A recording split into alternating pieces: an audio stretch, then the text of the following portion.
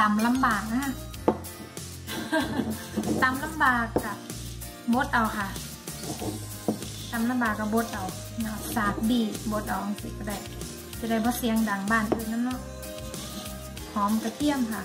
เกลือไม่ต้องใส่หลายค่ะย่านเข้มไม่ต้องใส่หลาย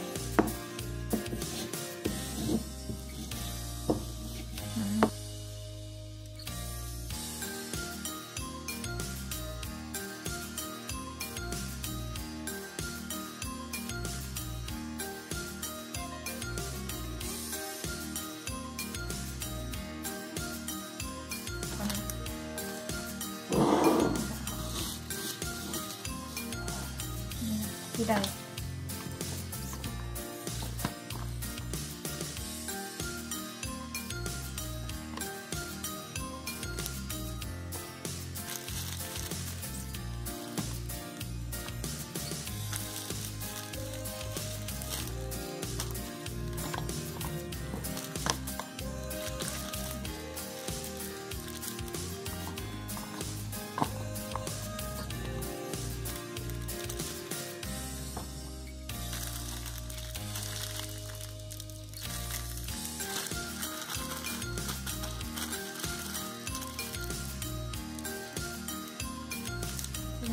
เป็